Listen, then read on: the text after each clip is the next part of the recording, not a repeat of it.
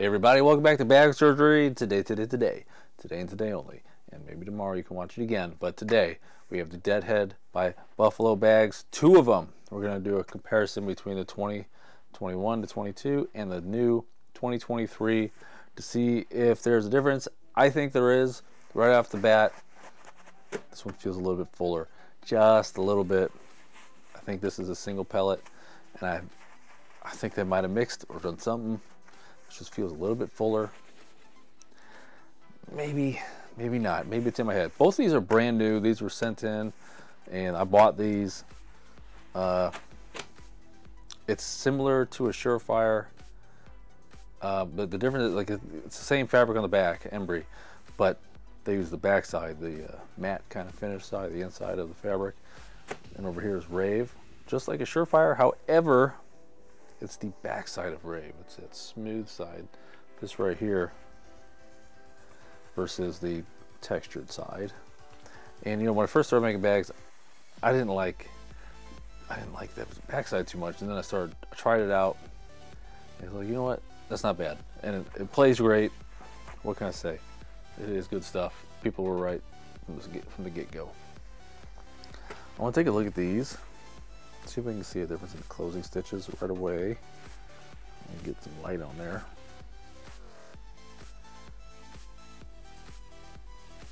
I think this is when they were doing it by hand on a manual machine. And you've probably seen some videos of an automatic tacker machine that they got. Because look at the stitch like super short. It's doubled over. Pretty sweet. And on, uh, on this one, you can see that closing stitch is definitely not centered. It's off by just a little bit. This is the one bag, and then this one is pretty good. I think it's I think it's centered. Pretty rounded. It's not the biggest bag in the world. Design-wise, it's pretty cool. This is stock imagery. Now, when it comes to design, like what they're able to do with the images they have is really cool. They'll take tons of different colors and themes and gradients and all that, and it all works. Like this layout really comes together to make it a nice looking bag. It's still one color centric. I'd call this orange. I think it was like Hunter Camo, whatever the name was, but I bought these off the website. It's like 100 some odd bucks, only to compare it against these bags which were sent in. They'll be going back to the owner. But my God, that was expensive. That was an expensive experience. They got here quick though. They do pride themselves on shipping quick, and they did. It got here, I think it shipped next day or the day after, and UPS two, two day. The shipping charge was added extra, which I absolutely cannot stand. I, I have a theory of why companies do that. And I think it has to do with these guys right here, because of the ACL. I think that, I mean, the ACL gives them guidelines to set their price, because they're, they're going to get 15% on a royalty. But I think if they include shipping in the price, they're losing out on shipping and are paying a royalty on the shipping to, to the ACL. So let's say this bag costs $100. It doesn't, but let's say four bags cost $100. ACL gets 15 bucks for every sale. And now they add shipping and they don't lose any more money. They don't lose any more out of that 85 bucks. But if they included shipping, ACL would still take 15%, $15. They lose another 10 to 15. I think they charge 15 for shipping, which is still too high. So now they're out 30 bucks and they're at $70 profit versus 85, which is a big difference after you sell a thousand sets. You're looking at 15,000 bucks or more. But the bag itself looks great. And like I said, this is, I found this skull thing on Shutterstock, so it's not like they drew it themselves. Same with this king pattern. It's all stock imagery, but like I said, they do really, really cool stuff with it. And the sublimation looks great. Tony the Tiger reference. Great colors, great blacks, even an Epson printer. And uh, yeah, this looks really sharp. Fabric feels good feels good. Like it was not handled too much. Uh, some some places make bags and they're just getting tossed around, and by the time the bag gets to you, it's like, eh, it's all beat up. This feels good. My gripe with this, okay, you got a lot going on back here. What was supposed to go right here? Why is it just black? Could have done something with the space. I don't like negative space when there's a lot going on, you know. I see the puzzle, but then there's a black splat. It doesn't make sense.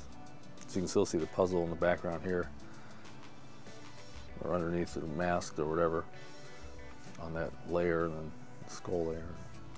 Deadhead. Two different ways of putting the logo. Capitalized, lowercase cursive. Let's get a weight on these bad boys. We're gonna do it real quick. 1.01, 1.1, 1.0, 1.01, 1.01. So let's do oh, a four way. 4.03, yeah. 4.3, that makes sense. One even. One. Oh one. And zero. All right, we should get 4.1. That 4.3. Am I crazy? Hmm.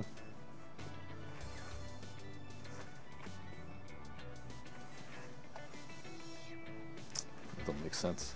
Size wise, we're looking at, get right on it, five.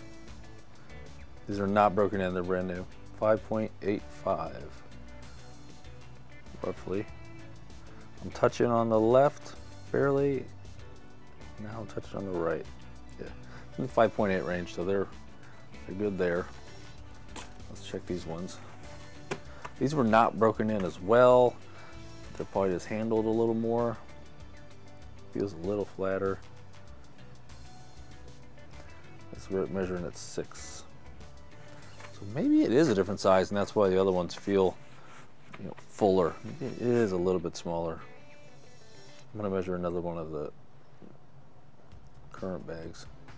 5.9. Pat her on down. Check it for drugs. Five point touching and 5.9. telling you, these feel just a little bit fuller. Am I crazy? Am I crazy? Oh, am I going crazy? Are they fuller? Let's find out. I think I'm not gonna smash. Maybe, maybe a little bit of smash, but we'll just wiggle. I'll get that nice and flat. We'll measure it off camera with the calipers where the edge of the table is. Total height is 4.2495, 4.35 out of divided by four. Let's do these other ones.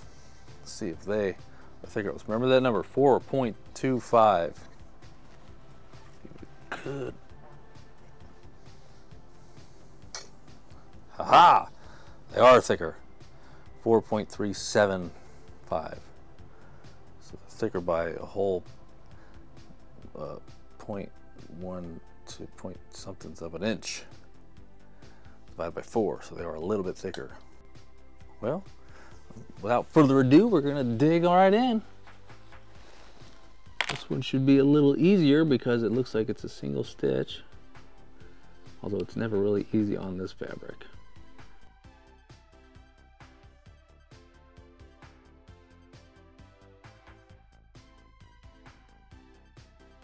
All right, well, we got it open. There's like one more stitch I'm not gonna bother with. Let's take a look at this. Yep, single pellet.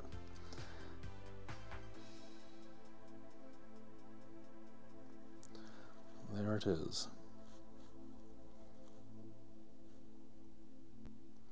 Smaller.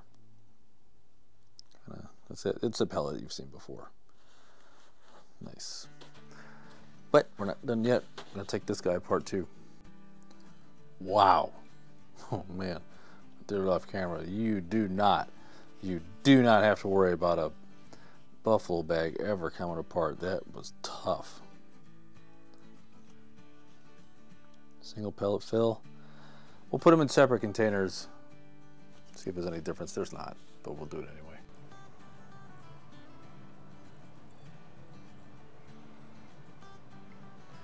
This is my favorite version of the pellet.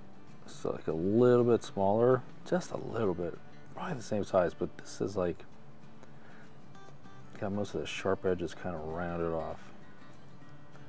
Uh, it just feels a little better in my hand. But overall, is great stuff, and it's going to buff out. You've seen videos with it buffed out. By that I mean, like it was in the other Buffalo video. Get it buff, Buffalo. So the M1, or the, was it the M1? Yeah, their carpet bag we did. Same pellet, but that one was very used, and he saw how shiny and slick and soft those pellets were. Soft, not like squeezable, but soft because they're so shiny and slick. That's that's where it comes into play. I talked about it in that video. Breaking in bags with chemicals ain't enough. You gotta throw the bag, get the fill broken in too. All right, here we have the 2022 and the 2023. They may look the same, but they're not. They're a little bit different. And if you look closely, you can see it right here. See right here? That is two separate stitching, and this is one single one done by an automated machine, I believe. Let's get in closer. I want to see something. Kind of see a little stitch line but there is a cross stitch right there. I'll prove it. That? That is indicative of a machine going up and down and around, an automated machine. But you don't have that on this solar bag. This one is a twin needle machine, I believe, the same one they've been using for a while. Um, it's getting close.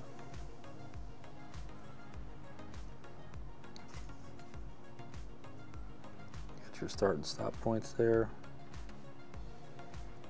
Around. And the ending.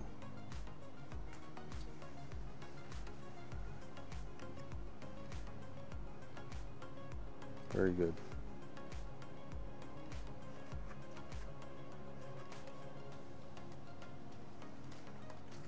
And here's the 2023.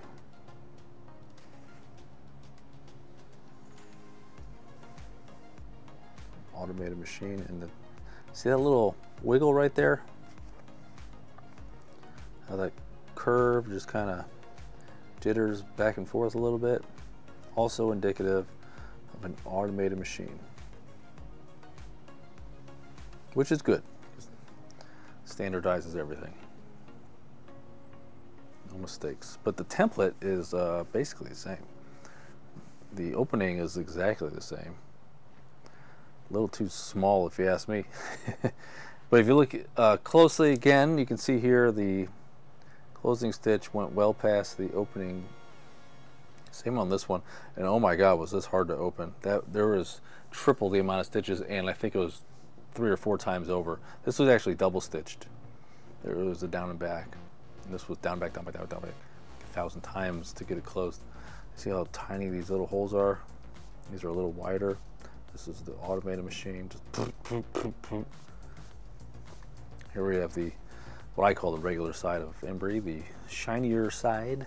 This is the side we use on Illust. And uh, this is also the side we use on Illust, this textured side. Hindsight, I, I kind of wish I used the other side. But I like it how it is. I think these were all hand cut around the edge. Very time consuming. But uh, good attention to detail.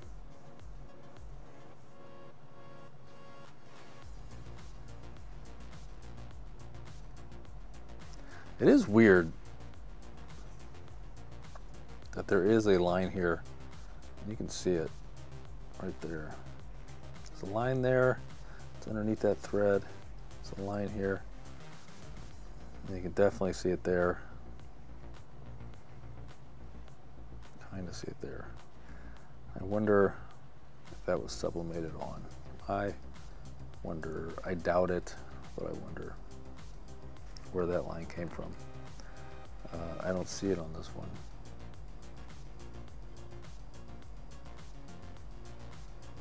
Or do I? Or do I? Or do you? No, I don't see one. A little different manufacturing process. Always good to see. Good to see companies changing how they do things to make it either faster or better, or more accurate, more repeatable. Good. There you have it, the Buffalo Bags Deadhead 2022-2023. See, how, the reason why I wanted to compare these two was in their Buffalo podcast, which is really cool, by the way. Big ups on that. Big kudos to that. Really like it. Uh, they were talking about the bag controversy thing and the bags be the right or wrong size. Do you make it the right size when you make it, or you or have it lead in to be the right size, or whatever they're saying? So they're talking about making changes to their bags, but there are no changes to these bags except being this being on an automated machine and this being on a twin needle. Okay, the closing stitch is not that different. This is also automated. This is the one I closed up. Let me get a different bag. Automated is like 500 stitches in there.